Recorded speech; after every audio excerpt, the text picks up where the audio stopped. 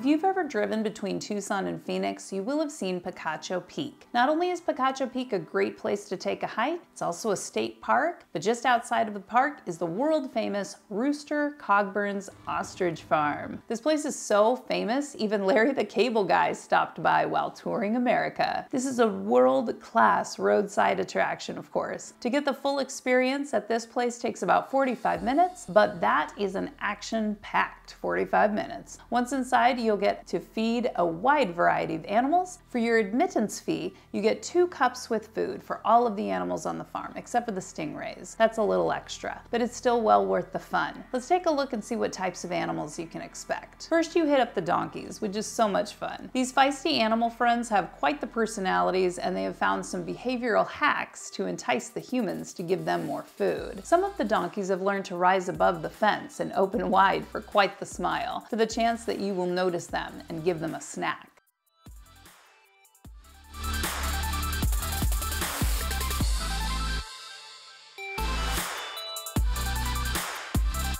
The fallow deer are so gentle and friendly. You get an appreciation for how sweet these deer are when you get to hand feed them. We especially love their beautiful spots that they keep for their entire lives. These docile animals are hailed from Europe and Asia.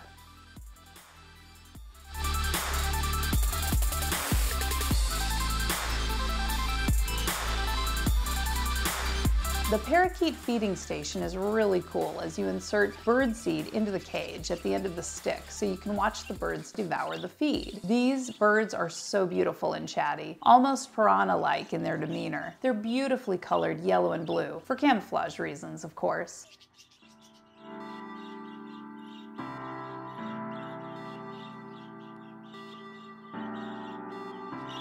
Everyone, it's Kimberly, your go-to real estate agent here in Tucson, Arizona, and today we are talking about the Rooster Cogburn Ostrich Ranch just outside of Tucson. We have a lot of attractions and interesting things to see all around southern Arizona, especially only an hour or two from the city, and this one is pretty well known by Tucsonans, Phoenicians, and anyone traveling past Picacho Peak. Don't forget to hit the like and subscribe buttons to follow along with Tucson News and learn more about things to do and see and know about this city, my hometown, and when you're ready to buy or sell Tucson home, you know how to find me. All my contact information is in the description below each video on the channel. And please check out other videos on the channel after this one. We have hundreds of videos about Tucson and real estate on this channel. One of the strangest and most awkward attractions here is the goat kissing booth, where if you really wanted to, you can hold a piece of animal food in your mouth and the goat will come and take it from you, basically giving you a goat kiss. We didn't have anyone brave enough in the family to do that though, unfortunately. I don't know, maybe that's a good thing.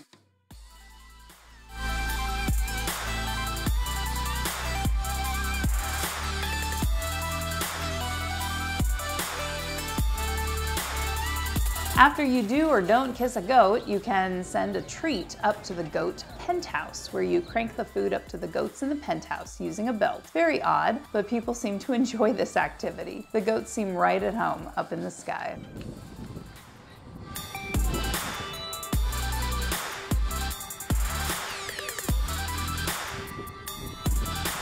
Naturally, main attractions at the ostrich farm are the ostriches. These guys are very fascinating and to be honest, a bit intimidating because they're just as tall if not taller than most people and can be quite aggressive when you feed them. These birds are big and strong and can reach over the fence, so just be careful. Just do your best to toss the feed in the dish and step back and watch them eat voraciously. We asked if there was ostrich riding, but they said unfortunately there is not.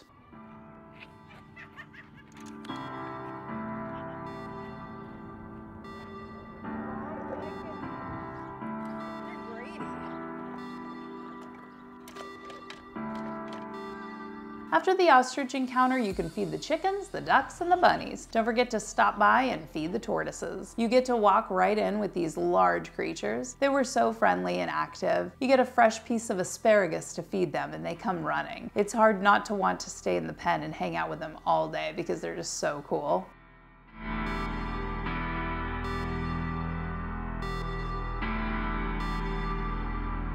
Now our favorite part of the tour was the lorikeets. You walk into the enclosure with these brightly colored birds and get to interact with them in a very personal way. Yes, they come and land right on you. You have a nectar cup in your food kit to feed them. Hold the cup up and they take the lid off themselves and just go to town. It's best to stand still when you're here and just make sure to put your arms down slowly when you're done saying hello. Such cool birds. They were ever so gentle.